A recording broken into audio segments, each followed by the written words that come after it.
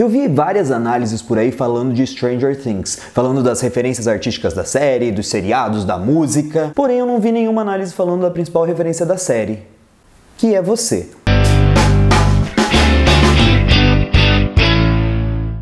Essa última semana eu maratonei a segunda temporada de Stranger Things. Nossa, eu amo esse seriado, ele é incrível, ele traz uma série de referências aos anos 80, uma época que eu tenho muito apreço, e ele traz isso tudo de uma maneira muito divertida, muito simples, ele tem personagens muito carismáticos, é um seriado extremamente bem feito. Nessa segunda temporada ela estreou no finalzinho de outubro, né, de 2017 pela Netflix, e traz uma carga nostálgica que é extremamente gostosa de ser apreciada. Eu, eu não, não me aguentei, eu tinha que ver vários episódios seguidos, porque aquelas sensações que o seriado evoca são muito boas. A gente tem aquele grupo de crianças metido naquelas confusões, aquelas coisas esquisitas acontecendo, os bagulhos estranhos acontecendo na cidade, e a gente quer saber da solução daqueles mistérios. A gente quer entender melhor o que está acontecendo ali. A gente fica preso por aquele clima de mistério de uma maneira extremamente familiar, porque não é uma série pesada, não é uma série densa, é uma série muito simples e gostosa de se ver.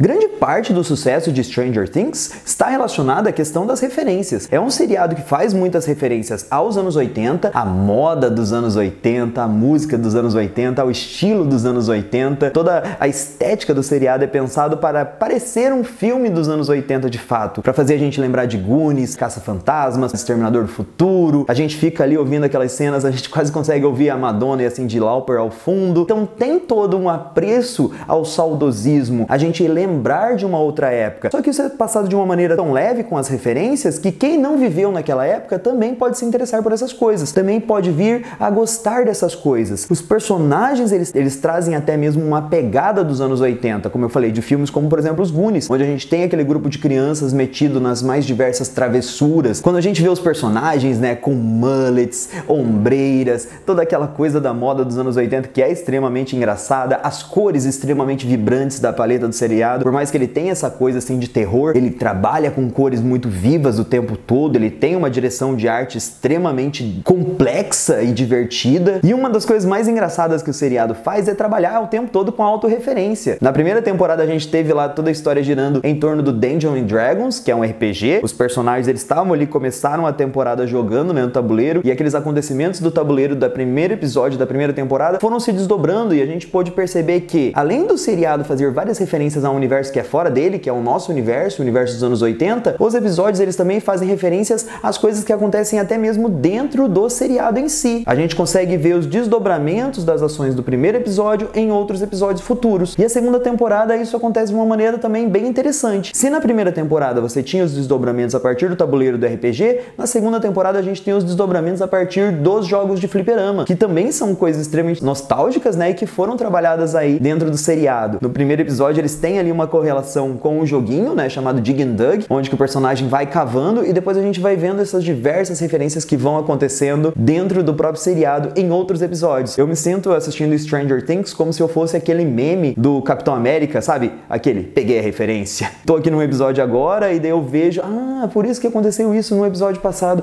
Ah, por isso que no episódio 1 ele falou desse jeito. Ah, então a princesa lá do Dragon's Lairs. Hum, as coisas elas vão se encaixando de uma maneira muito gostosinha e quando a gente vê esse encaixe de coisas, esses mistérios sendo resolvidos, a gente sente um calorzinho no peito, né? Esse seriado ele tem esse poder, ele tem essa coisa de transmitir sentimentos bons, apesar de ser terror, que é estranho. Bem, bagulhos sinistros.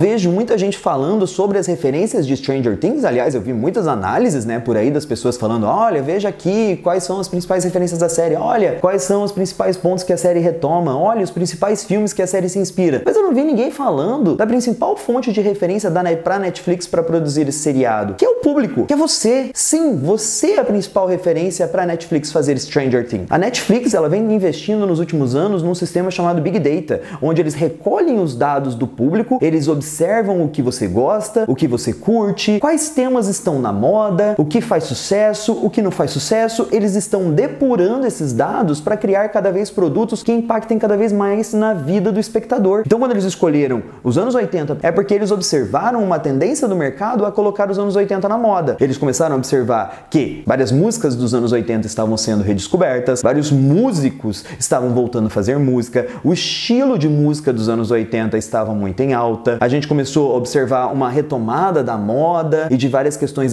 estéticas que faziam referência aos anos 80. Até mesmo se a gente pensar no Blade Runner 2049, que foi pensado alguns anos atrás, ele também queria esse revival anos 80. E a Netflix estava ligado nisso. Mas não é só por aí. Não é só nesse ponto superficial que a Big Data funciona. A Big Data ela também analisa o ritmo que o público assiste o seriado, os pontos que o público pausa o seriado, o momento onde o público abandona o seriado, o que leva o público a deixar de gostar de uma série.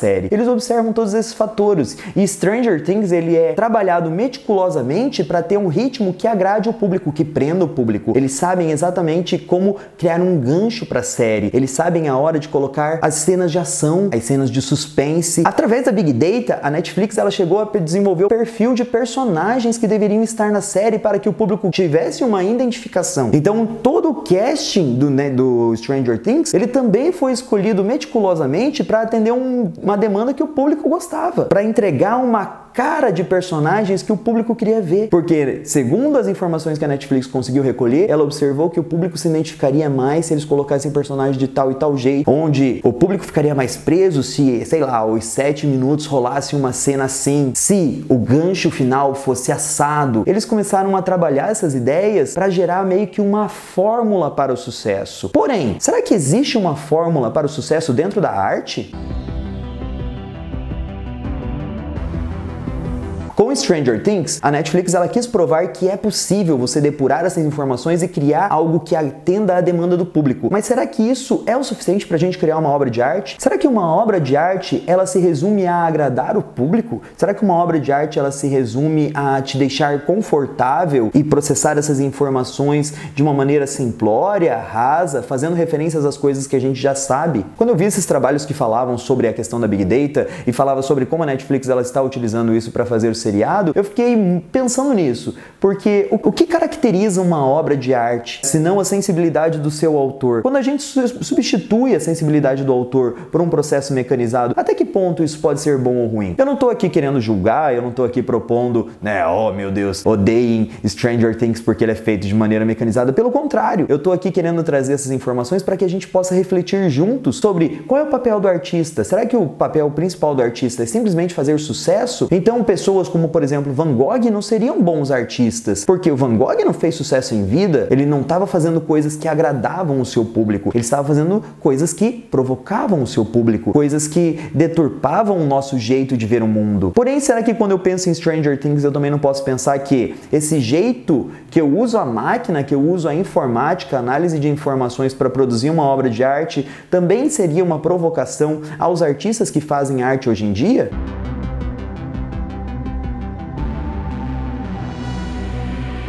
Tudo isso no final nos leva àquela grande discussão, né? O que é arte? Qual é o real valor da arte no mundo? O que, que vocês acham disso? O que vocês pensam sobre essa questão né, da Big Data sendo utilizado para produzir séries que agradem cada vez mais o seu público? Deixa aí suas opiniões nos comentários, deixa aí suas dicas de pauta, eu tô sempre por aí discutindo com o pessoal, debatendo, respondendo. É isso aí, galera. A gente se vê por aí. Grande beijo e tchau, tchau.